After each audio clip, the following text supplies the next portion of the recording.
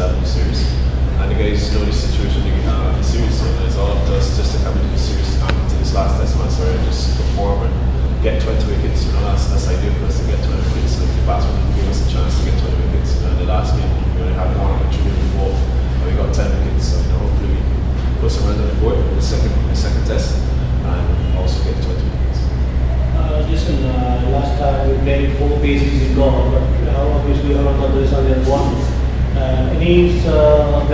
uh, the bowling lineup?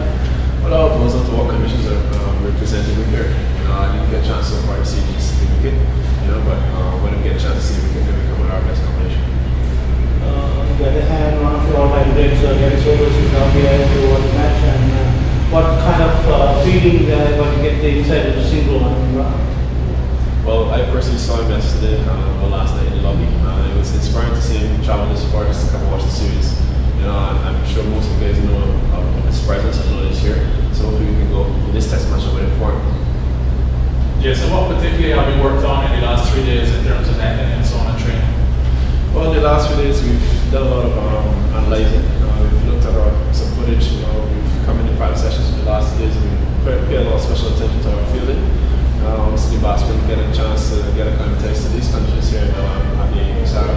And you know, just done a little, little bit more thinking and, th- and talking. You know, hopefully we can just put things right in this, in this test match. Um, we felt on the field, so that's one area that we really paid attention to these last few days. Any possibility of Jomel Warrican coming into the picture as a spinner? Again, we have to see the conditions. Uh, but again, I haven't seen the pitch today, but can, it's a possibility that um, he could come in. But I guess we just got to see the conditions. You mentioned the fielding there, and obviously your big concern in the last test was those catches that went down in the first innings. I mean, you can practice all you like on fielding, but at the end of the day, isn't it more of a spur of the moment thing? How much does practice help you? Um, I can say- speak from my point of view. I think practice does a lot for it. You know, if you get in the habit of doing something repeatedly, you know, it becomes a norm.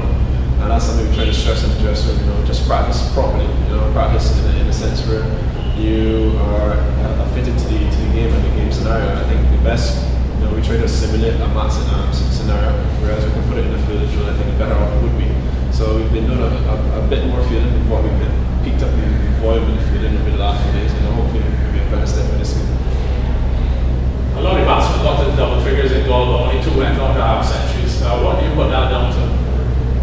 That's a good question. You know, um, again, we've done a lot of talking within um, dressing room, and you know, different batsmen come with different things. Uh, I think it just boils down to, to guys just digging a little deeper.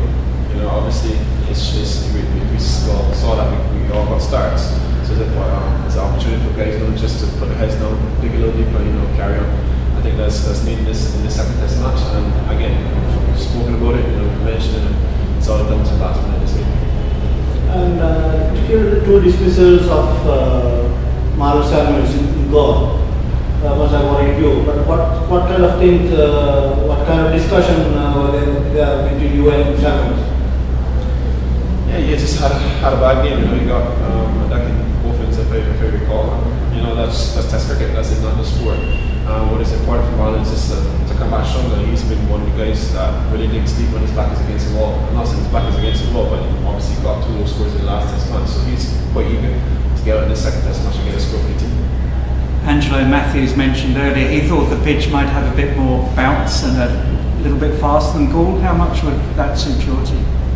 Well, again, all was in the combination that we play. Um, if we play, you know, whatever two spinners or, or, or the four quicks again, you know, I think whatever the pace, well, the paces that we have um, are quite fitted to, to it's all to, to, to get whatever um, out of the conditions, and hopefully that you know we can just put the ball in the correct areas, you know, whatever be just so they all stand, just challenges the Sri Lankan batsmen as early as possible into the innings. I think that that's the key. Uh, obviously, to strike uh, when they're fresh out of crease, and uh, hopefully get into their minimum as quick as possible. Uh, Jason, uh, Rangana Herath troubled a few of the West Indies batsmen in ball. Do you think it's a, a few of the batsmen prospered by attacking him as well? Do you think that's the that's the way to go against him to, to take him on a little bit and score the runs while you're at the crease? I think we've got to be selective, you know, um, and just play it to your personal game plan. Uh, I just urge you guys to be positive, but be selective. Know, I think once you're selective and you're patient enough, you know, you will get runs. It's all about occupying the crease and spending as much time possible because you can't score runs in the dressing room. So I think once you're selective and patient, then you can get runs off anybody.